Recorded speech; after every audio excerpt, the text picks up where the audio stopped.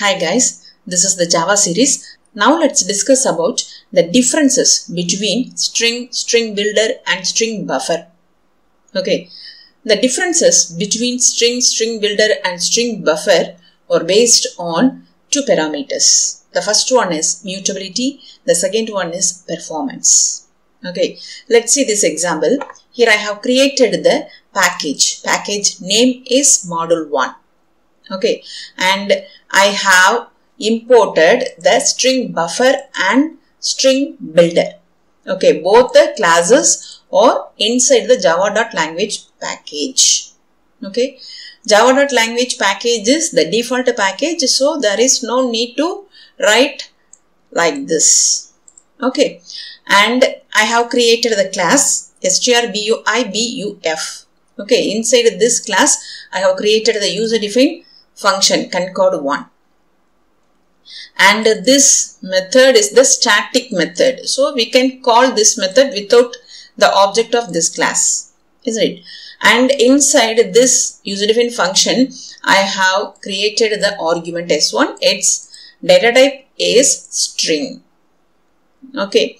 And here I try to concatenate s1 with the u string is it possible to concatenate this u with the s1 string data type variable?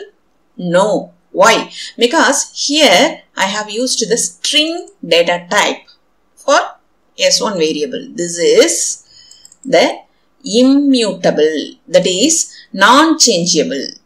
Okay. So, if we create any variable as string means if we try to change the value of the variable means we won't get any errors. But concatenation is not possible. Because the feature for this string data type is what? Non-changeable that is immutable. And here I have created one more user defined function concat2 class is string builder. Okay. And s2 is the object for this string builder class. And inside this string builder class we have the inbuilt method. Okay. Here I have used that method. Append okay. So this method is used to append the given string to the existing value of this s2 okay. Is it possible? Possible. Okay. If we use the string builder class we can add the value to the existing one. Okay, so what property is this? This is the mutable one. If we use the string builder class, we can add. Okay, so that is the mutable property. But that is not present inside this string class, isn't it? Okay, and here I have created one more concat 3. This is also the user defined function. Here I have used the static keyword. So we can call this method without the object of this class. Isn't it? Here I have used the string buffer class. This is the object for this string buffer. Okay. So is it possible to add the value to the existing one? Possible. Like the string builder not like the string. Okay. So then what is the difference between the string buffer and string builder? String buffer is slower performance when compared with the string builder. Okay. String class is the immutable one. String builder class is the mutable one and string buffer is also the mutable one. But what is the difference between the string builder and string buffer? String buffer is slower performance than the string builder class. Got it? Append method is present inside the string buffer class. Okay. So, I can access the append method with the help of the object of this string buffer class. The God is the new value. This value will be added to the existing value of this S3. Okay. And here we have the main method. Execution starts only from the main method. Okay. And here I have created the variable S1. Its data type is string. This holds the immutable property, isn't it? Okay. And here I have given the value to S1, thank. And this is our call statement. Concat 1. And inside the S1 we have the thank. So after encounter this line, the control jumps from the 35th line to the definition part that is the 11th line. Okay, the tank will be stored inside the S1. Okay, here inside the S1 we have the thank and here we have the concatenation symbol and this is the string u. Okay, is it possible to concatenate thank with u? No. Why? Because string is the immutable one, non-changeable one, isn't it? So, the value S1 won't be changed. Okay. And the control again jumps back to 14th line to the 37th line.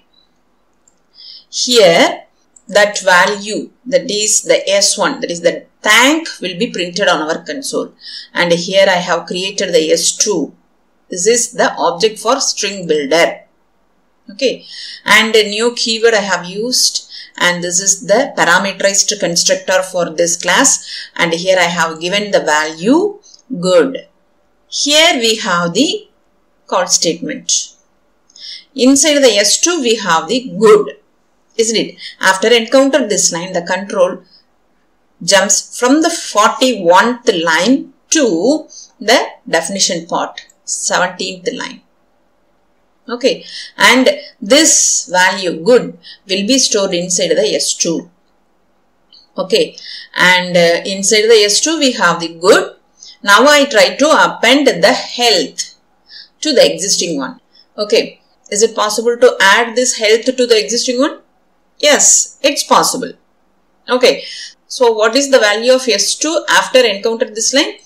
Good health. Okay.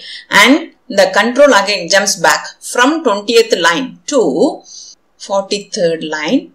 So, good health will be printed on our console.